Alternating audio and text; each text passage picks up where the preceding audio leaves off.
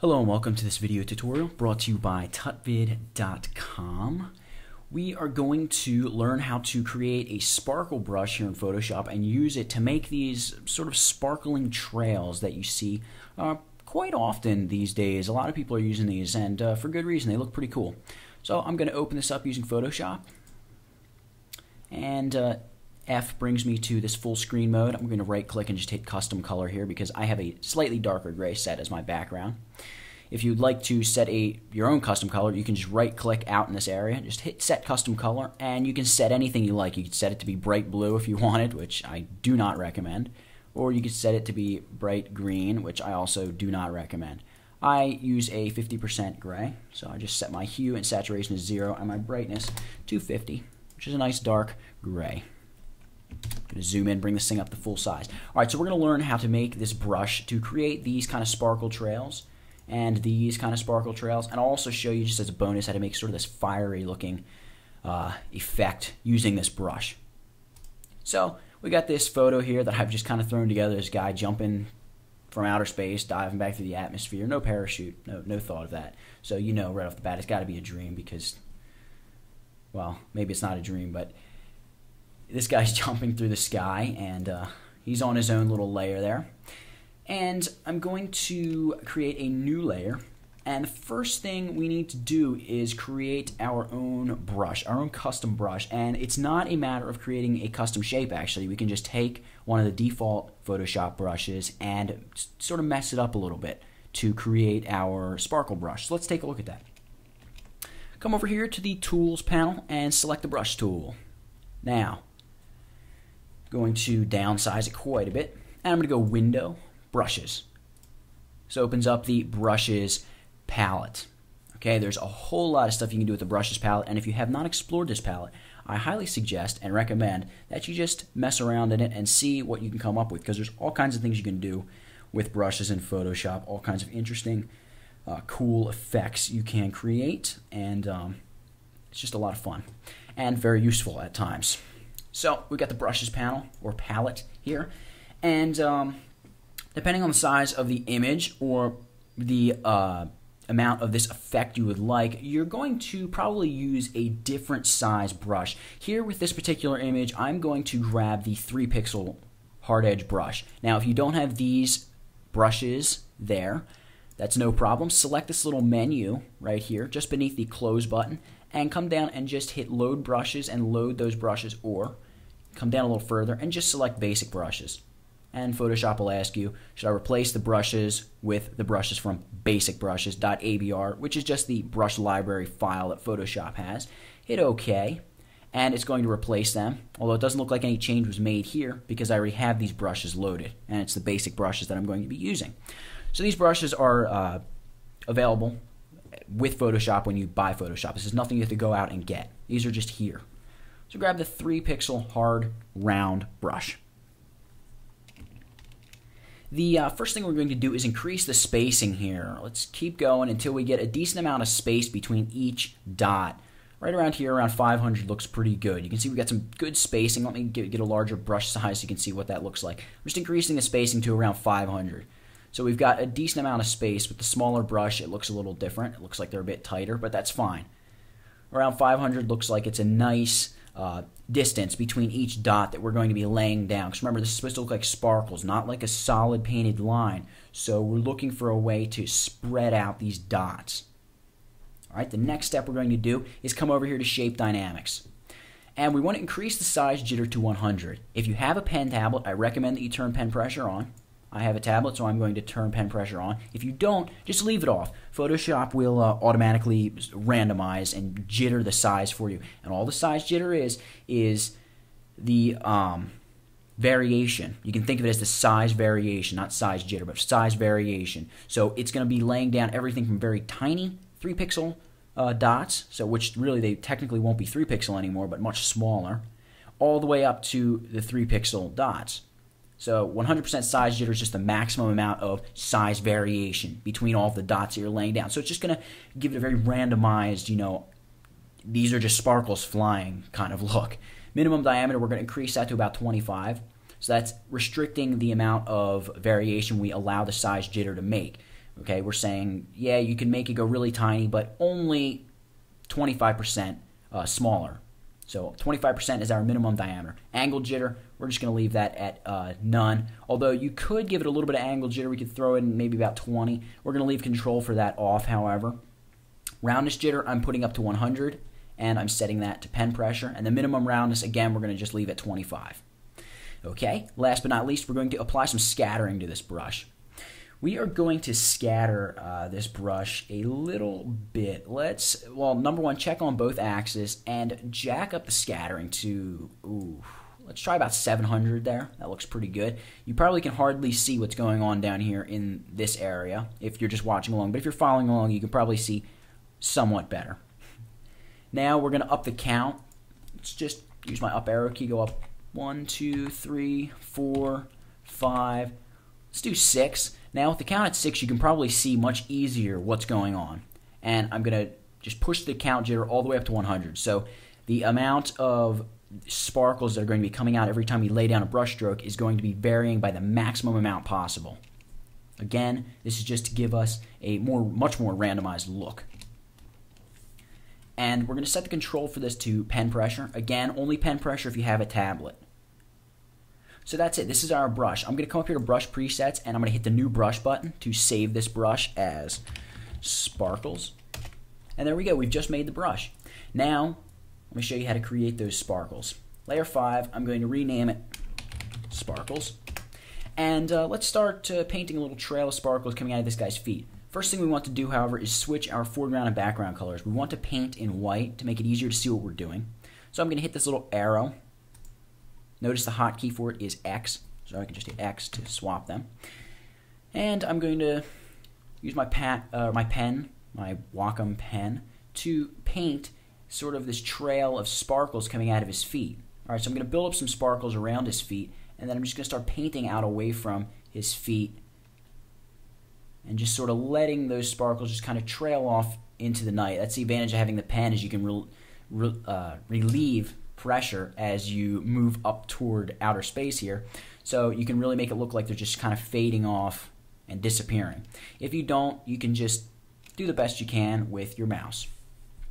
And uh, if need be, you can always use a mask, come back in with a mask and edit that way. Or if worst comes to worst, you can use an eraser but uh, use a mask if at all possible. So now that we have this sort of trail of sparkles coming out of his feet, I'm going to make a couple coming out of his hands here. Just like he's falling right through the sky. And one coming off of his head as well. The one coming off his head is going to be very small, but it will be there. Now I'm going to take this sparkles layer and I'm going to duplicate it three times. So I'm just going to Control J. If you're on a Mac, that would be Command J. One, two, three. You can see that makes it much brighter. Now we have four sparkles layers. Going to close up my info palette so we can see the layers palette. One, two, three, four sparkles layers. I'm going to select these three sparkle layers.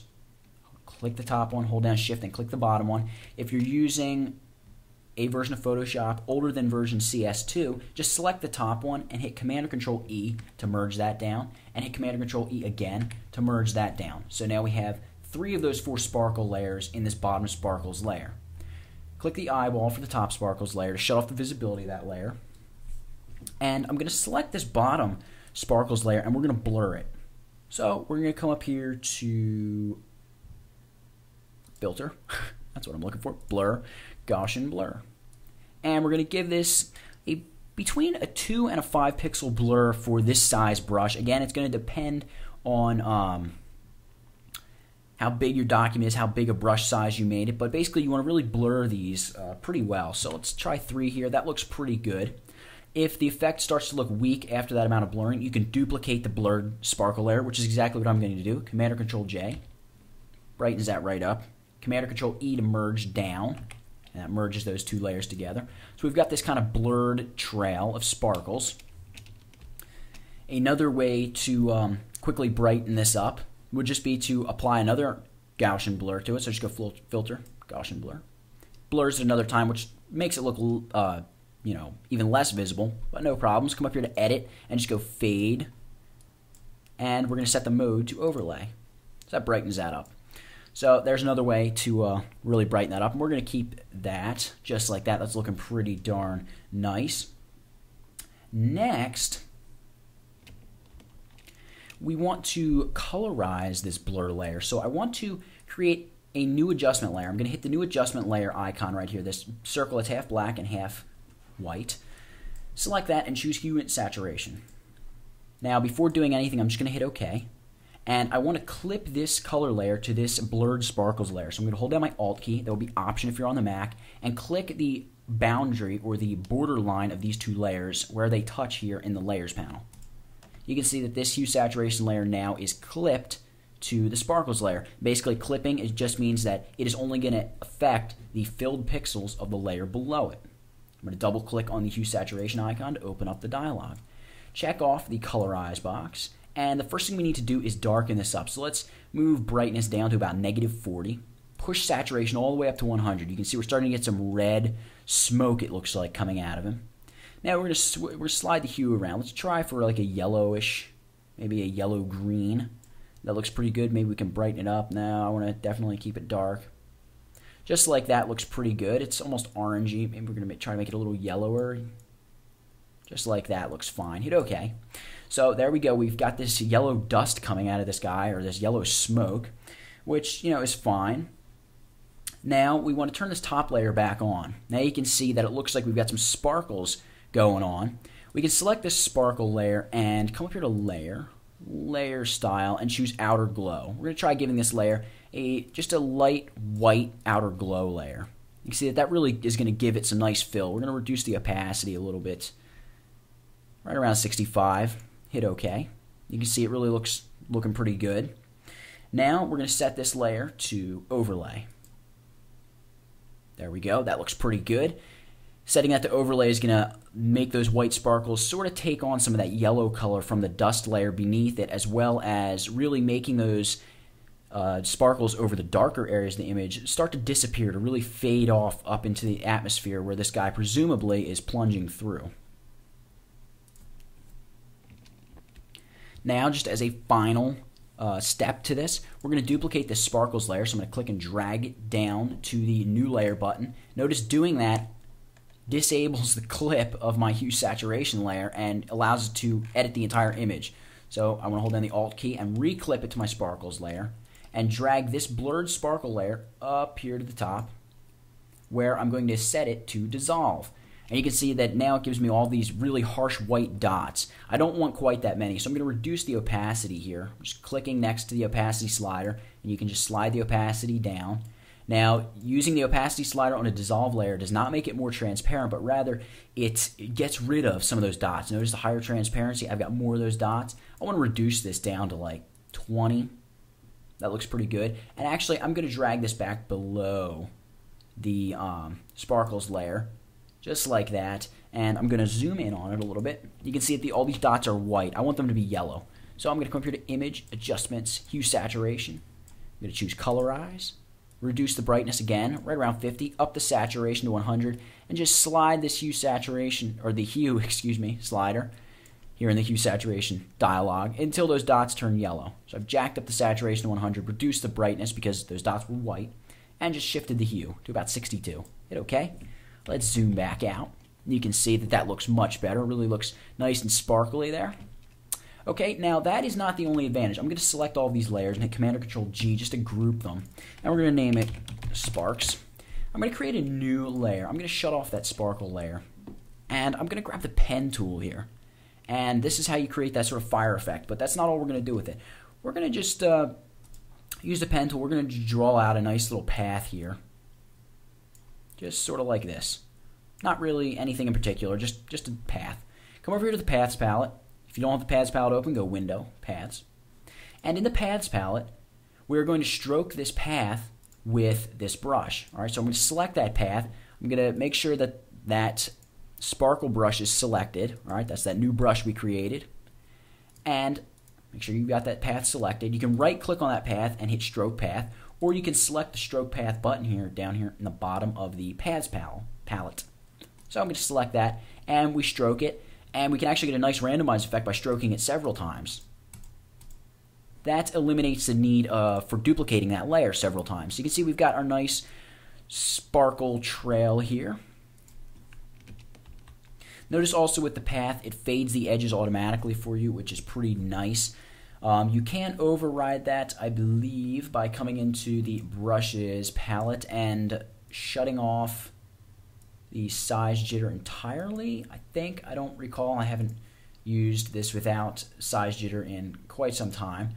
But you can mess around with it and you can use paths to uh, get that fading there on the edge of your paths, which is very useful. However, that's not what we're going to do with this. So we've just got our path stroked here.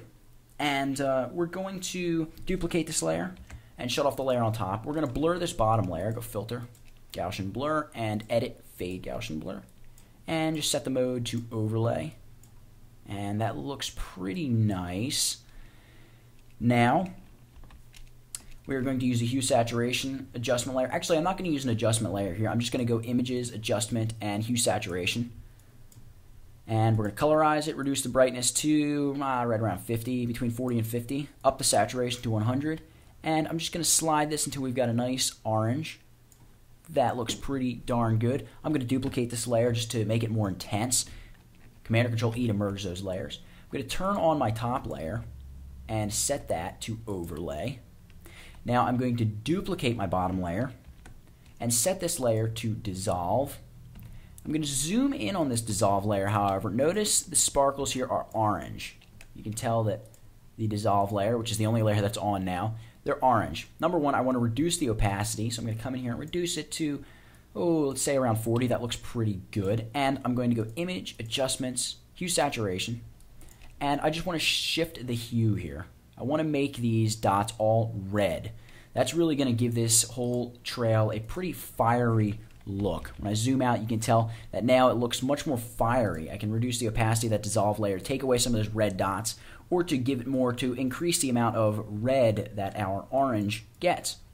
So that's how you create that kind of sparkle brush here in Photoshop. That is a really cool brush, and there are a whole lot of techniques, a whole lot of different styles and things you can do with that brush. And that's how you do it.